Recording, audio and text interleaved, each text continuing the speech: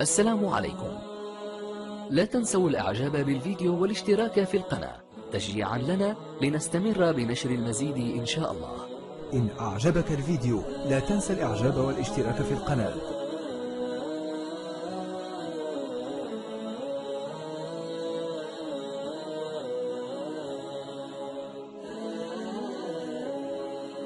الحمد لله رب العالمين والصلاة والسلام على مولانا رسول الله وعلى آله وصحبه أجمعين. أيها الأحبة الكرام السلام عليكم ورحمة الله تعالى وبركاته. سعداء بهذا اللقاء المبارك الذي سنخصصه الليلة للحديث عن عشر آيات من عمل بهن فاز بالفردوس الأعلى. عشر آيات فيها أحكام وفيها إرشادات. من عمل بمقتضاها وعد الله سبحانه وتعالى أن يدخله الجنة. لا بل يدخله الفردوس الأعلى. ما هي هذه الآيات؟ هي التي جاءت في مطلع سورة المؤمنون والتي قال فيها المولى جل جلاله بعد بسم الله الرحمن الرحيم قد افلح المؤمنون الذين هم في صلاتهم خاشعون والذين هم عن اللغو معرضون والذين هم للزكاة فاعلون والذين هم لفروجهم حافظون إلا على أزواجهم أو ما ملكت أيمانهم فإنهم غير ملومين. فمن ابتغى وراء ذلك فأولئك هم العادون والذين هم لأماناتهم وعهدهم راعون. والذين هم على صلواتهم يحافظون أولئك هم الوارثون الذين يرثون الفردوس هم فيها خالدون. صدق الله مولانا العظيم. عشر آيات فيها من الأحكام والإرشادات من عمل بمقتضاها وعده الحق عز وجل أن يكون من ورثة الفردوس وهو مقام عظيم في الجنة. يروى في سبب نزول هذه الآيات البينات أن النبي الكريم صلى الله عليه وسلم حينما كان يأتيه الوحي كان يأتيه كأزيز مرجل ويبدأ يرتعد ويتصفد من العرق. شهد ذلك سيدنا عمر بن الخطاب رضي الله عنه. لكن في هذه الآيات النبي الكريم جاءه الأزيز لم يكن مؤلما ولم يكن متعبا وإنما كان فيه استرواح وكان فيه متعة وبركة. ثم لما زال عنه الوحي قال اللهم زدنا ولا تنقصنا اللهم بارك لنا فيما أعطيتنا. وبدأ النبي الكريم يقول أكرمنا ولا تهنا وآثرنا ولا تؤثر علينا. دعاء طويل. ثم قال له آه، سيدنا عمر يا رسول الله لما قلت هذا الكلام كله دفعة واحدة. اللهم زدنا ولا تنقصنا وأكرمنا ولا تهنا وأعطنا ولا تحرمنا وآثرنا ولا تؤثر علينا وارض عنا وارضنا. كلام طويل قاله النبي الكريم فقال قد أنزل علي قد أفلح المؤمنون. أنزلت عليه هذه الآيات البينات ففرح وسر النبي الكريم صلى الله عليه وسلم. النبي محمد صلى الله عليه وسلم كان يقدر القرآن الكريم بكامله ولكن هذه الآيات كان يعمل بمقتضاها حتى إن أم المؤمنين عائشة رضي الله عنها لما سئلت عن خلق النبي الكريم ماذا قالت؟ قالت كان خلقه القرآن ثم تلت هذه الآيات قد أفلح المؤمنون تعالوا بنا أيها الأحبة الكرام بعجالة نتأمل في مضامين هذه الآيات البينات. في مطلعها ربنا عز وجل يقول قد أفلح المؤمنون. هذا فيه تنويه من عند الله تعالى وتبجيل وتعظيم وتكريم. قد أفلح المؤمنون. الفلاح. فزتم أيها المؤمنون وربحتم الدرجات العلى. ربنا عز وجل يبشر بسعادتهم ويبشر بفوزهم. قد أفلح المؤمنون. من هم؟ هؤلاء المؤمنون الذين هم في صلاتهم خاشعون. أول صفة من صفات المؤمنين أنهم يخشعون في صلاتهم. يروى أنه قبل نزول هذه الآية كان الصحابة يصلون مع النبي الكريم وأبصارهم تكون طائشة. بعضهم ينظر إلى السماء وبعضهم ينظر إلى اليمين وبعضهم ينظر إلى اليسار. فحينما أنزلت هذه الآيات صار الصحابة كلهم يبصرون عند موقع سجودهم وصاروا يحرصون على جمع كل طاقاتهم وأفكارهم وجوارحهم وخواطرهم للتركيز في الصلاة. إنهم من أهم صفات المؤمنين أنهم يخشعون في الصلاة أن قلوبهم مرتبطة بالخالق. قد أفلح المؤمنون الذين هم في صلاتهم خاشعون والذين هم عن اللغو معرضون. من صفة المؤمن أنه لا يهتم باللغو. ما هو اللغو؟ هو كل كلام زائد لا قيمة له ولا مصلحة من ورائه سوى العبث. والمؤمن منزه عن العبث. لا ينبغي أن يضيع وقته الثمين في القيل والقال وفي مشاكل الناس التي لا يطال يرجى منها خير. فالمؤمن بعيد عن اللغو. ونحن نلاحظ بأن في زماننا هذا كثر اللغو واللغط على مواقع التواصل الاجتماعي وعلى غيرها من الأماكن. فالمؤمن عليه أن يحرص أن يكون بعيدا كل البعد عن اللغو. ثم قال والذين هم للزكاة فاعلون. المؤمن يحرص على أن يؤدي زكاة أمواله. فما فرضه الله علينا في كل سنة حينما يمر الحول ويبلغ المال النصاب نزكي. وقيل بأن الزكاة هنا أشمل من زكاة المال. هناك زكاة العلم. من أعطاه الله تعالى علما أو حكمة فليعلمها الناس. من أعطاه الله سلطة وقدرة ممكن أن ينفع بها الناس فلا يبخل.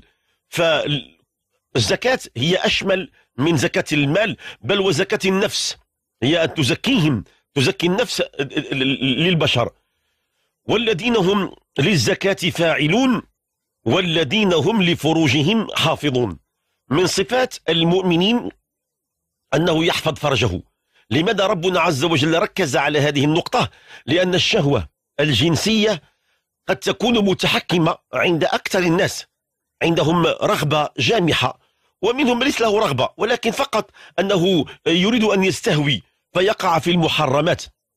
فمن صفات المؤمنين أنهم يحفظون فروجهم أنه لا يمكن أبدا أن يقع في المحرم إلا هناك استثناء إلا على أزواجهم. أو ما ملكت أيمانهم فإنهم غير ملومين. فالزوجة هي تزوجتها على سنة الله ورسوله هي حلال طيب. وكذلك ما ملكت أيمانهم كما كان أيام زمان. كان هناك نظام الإماء ونظام العبيد فالنظام كان سائدا فكان مباحا في وقته. رغم أن الإسلام وضع مجموعة من التشريعات لكي ينضب هذا الرق ولكي يزول وقد زال ولله الحمد. فالمؤمن يحفظ فرجه. لا يمكن أن يقع به في أي مكان محرم إلا على الزوجة أو ما ملكت أيمانهم فإنهم غير ملومين. ربك لا يلومك إذا كنت مع زوجتك أو مع ما ملكت يمينك. فمن ابتغى وراء ذلك فأولئك هم العادون. اللي بحث على تصريف هذه الرغبة فيما دون الزواج الشرعي فأولئك هم العادون. العادون والعياذ بالله. قيل هما الذين ربنا يعاديهم. كل من يقول حرية فردية أنا لم أؤذي أحد. الله تعالى يغار على حرماته ولا يحب أن تنتهك الحرمات. ولهذا ربنا عز وجل نصب العداء لمن يتساهل في هذه الرغبة وهذه الشهوة. فأولئك هم العادون. حتى ذكر العلماء أن الذي يقوم ب... بأي عبث بأعضائه التناسلية اعتبرها أيضا من هذا القبيل والعياذ بالله. فالمؤمن يحرص كل الحرص على أن يحفظ فرجه ولكي تحفظ فرجك غض بصرك ببساطة. من أراد أن يحفظ فرجه فليغض بصره. وربنا عز وجل أمرنا بغض البصر ثم بعدم ترك المجال للفكر والخيال. الخيال الذهني أحرص على أنك تراه. فبعض الشباب ربما قد يتساهل عبر وسائل الإنترنت اليوم المتاحة في الاطلاع على صور مهيجة مثيرة ومن ثم يرغب في ممارسة بعض الأعمال السيئة فيقع في المحظور. فمن صفات المؤمنين أنهم لفروجهم حافظون إلا على أزواجهم أو ما ملكت أيمانهم فإنهم غير ملومين. فمن ابتغى وراء ذلك فأولئك هم العادون. ثم قال والذين هم لأماناتهم وعهدهم راعون. من صفة المؤمن أنه يرعى الأمانة ويحفظ العهد ولا يقع في المحرم. المؤمن الصالح هو لا يقع أبدا في مثل هذه الأشياء. إذا عنده أمانة لا يضيعها لأنه سوف يسأل. هناك الأمانة الكبرى وهي أمانة العبادة. إن عرضنا الأمانة على السماوات والأرض والجبال فأبين أن يحملنها وأشفقن منها وحملها الإنسان إنه كان ضعيفا عجولا. فالإنسان الذي يحمل هذه الأمانة إذا لم يكن على قدر المسؤولية كان مضيعا. هذه يسمى آه، أمانة الاستخلاف. ثم هناك الأمانة الصغرى. أمانة آه، ودائع الناس وممتلكات الناس وأسرار الناس. فلا بد أن تحفظها. من صفات المؤمن أنه لا يغدر. من صفات المؤمن أنه لا يكذب من صفات المؤمن أنه لا يبدل. هم لآمانتهم وعهدهم راعون الذي ينقض العهد هذا من المنافقين لأن المنافق لا عهد له ولا ذمة له. ثم يختم ربنا عز وجل والذين هم على صلواتهم يحافظون يحافظ على الصلاة في وقتها. لاحظوا بأن ربنا عز وجل بدأ بالصلاة وختم بالصلاة. قال قد أفلح المؤمنون الذين هم في صلاتهم خاشعون ركز على على الخشوع في الصلاة وانتهت الآيات العشرة بالصفة الختامية والذين هم على صلواتهم يحافظون. أن المؤمن يحافظ على صلاته كما يحافظ على ممتلكاته بل كما يحافظ على روحه ويحافظ على أبنائه ويحافظ على, ممت... على وطنه يحافظ على صلاته. إذا جاء وقت الصلاة فإنه لا يعبث ولا يضيع. ما هو الجزاء؟ الجزاء قال الله تعالى أولئك هم الوارثون. أولئك اسم إشارة للبعيد يعني مقام رفيع عند الله. أولئك هم الوارثون. ربك يعطيهم واحد الورث. كيورثوه من عند الرحمن. وذاك الورث خالد. أولئك هم الوارثون الذين يرثون الفردوس. هم فيها خالدون. أعظم إرث هو الفردوس. أما الورث اللي ورثت من عند أبيك وجدك سرعان ما سوف ينتقل إليك. لو دامت لغيرك ما وصلت إليك. فأورثناها قوما آخرين. يتداول الدنيا كلها واحد ما عنده شي حاجة. إلا الفردوس.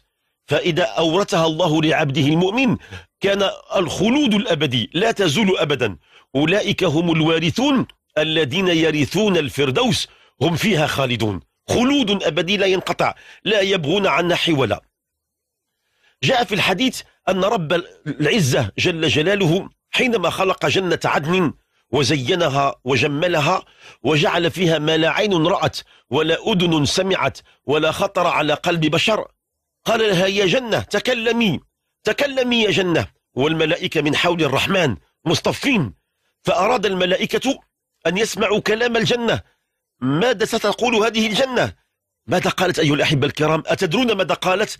قالت الجنة حينما تكلمت أول مرة قالت بسم الله الرحمن الرحيم قد أفلح المؤمنون الذين هم في صلاتهم خاشعون والذين هم عن اللغو معرضون والذين هم للزكاة فاعلون والذين هم لفروجهم حافظون إلا على أزواجهم أو ما ملكت أيمانهم فإنهم غير منوين فمن ابتغى وراء ذلك فأولئك هم العادون والذين هم لأماناتهم وعهدهم راعون والذين هم على صلواتهم يحافظون. أولئك هم الوارثون. الذين يرثون الفردوس هم فيها خالدون. عشر آيات. من قرأها وعمل بمقتضاها على قدر استطاعته كتبت له الفردوس الأعلى وصار من الوارثين عند الله جل جلاله. اللهم حبب إلينا الإيمان وزينه في قلوبنا وكره إلينا الكفر والفسوق والعصيان واجعلنا بالعبادك الراشدين واختم لنا بالحسنى. واجعلنا من أهل الفردوس الأعلى. السلام عليكم. لا تنسوا الإعجاب بالفيديو والاشتراك في القناة. تشجيعا لنا لنستمر بنشر المزيد إن شاء الله. إن أعجبك الفيديو لا تنسى الإعجاب والاشتراك في القناة.